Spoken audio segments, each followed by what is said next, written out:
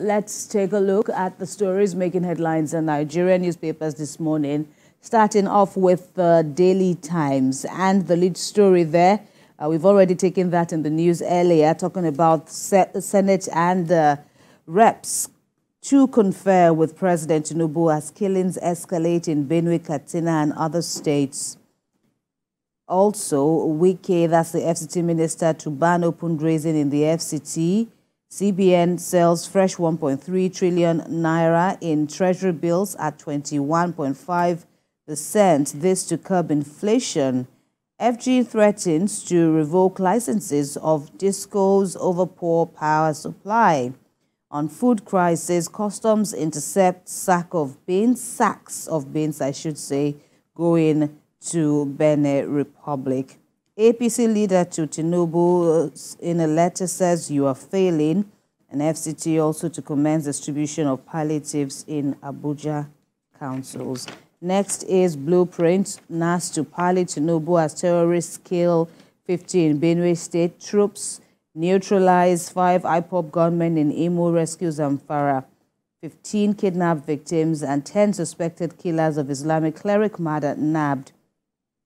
Three days after looting Abuja warehouse, Tinubu orders distribution of grains to residents and uh, up above the masthead, captioned alleged 7.6 billion naira fraud. Appeal court quashes federal government's bid to rearraign former Abia State Governor Orji Uzor Kalu. All right, truck, a sad one here. Truck kills graduate awaiting NYSC call-up in uh, Abia. And finally, on Blueprint, 300 Kano prison inmates incarcerated without record of crimes. That's according to an official.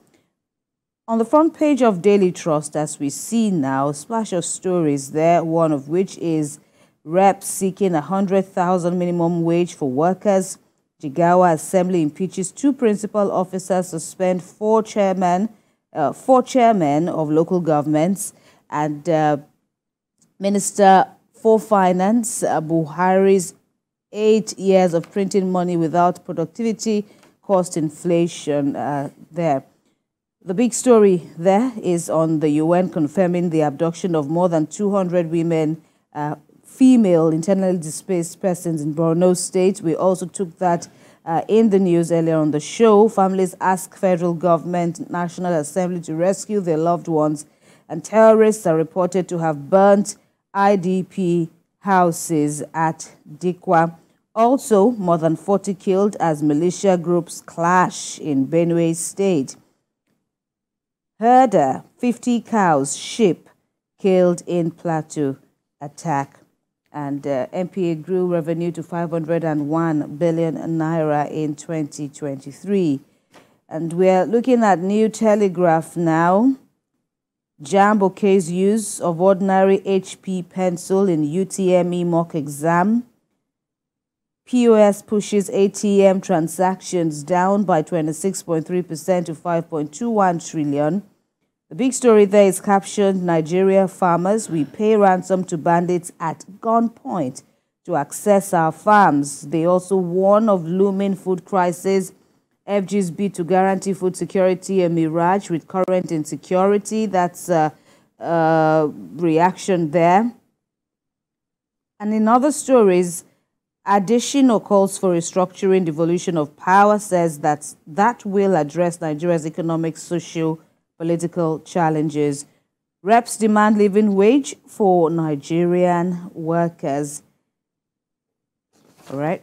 And uh, next is uh, Silent Times. Buhari's administration printed Naira for eight years without matching production. 22.7 trillion Naira ways and means policy destroyed the economy. Now, 10 arrested over killing of Zamfara Muslim scholar Sheikh Abubakar says uh, is in the news now 10 arrested for the killing of uh, the scholar Sheikh Abubakar. Mom charged with murdering 10-year-old daughter.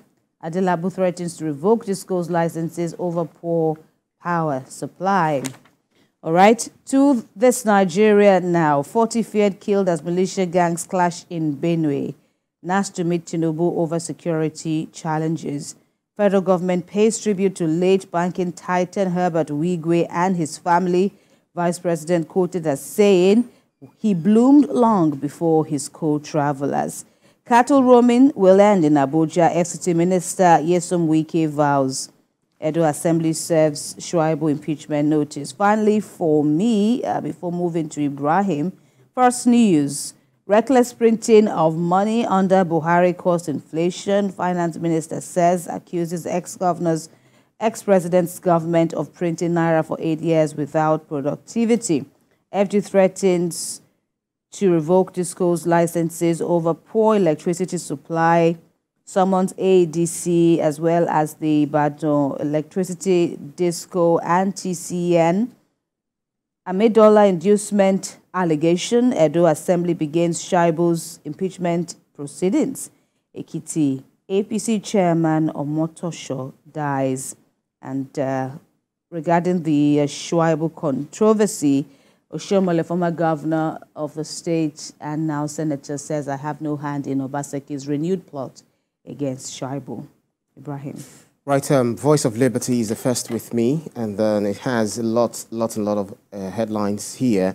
Uh, food smuggling, federal government intercepts 141 grain trucks. Drivers threaten strike. Uh, Benue, 40, including seven family members killed in militia gang war. Road crashes kill more Nigerians than insecurity, police PRO. Terrorism, bandits attack where there is no military presence, defense minister. Clock ticks for DSS, DIA DGs, IGP and farmers in North pay bandits up to 100,000 to farm, this is according to report. Alleged 7.6 billion naira fraud. Appeal court strikes out federal government suit against, uh, seeking Kalu's retrial. NIMASA refutes over 1.5 trillion naira dollars fraud allegation against its DG. That's about it for the Voice of Liberty. The West is next. Food security, Lagos, Niger, uh, Lagos, Niger seal deal. And then Navy discovers, dis Navy discovers, destroys four illegal oil refineries in Ondo. Three remanded in prison over Ibadan explosion. Harsh weather in May, in March, April, May uh, may cause more malaria across Nigeria. Harsh weather in March, April, may cause more malaria acro um, across Nigeria.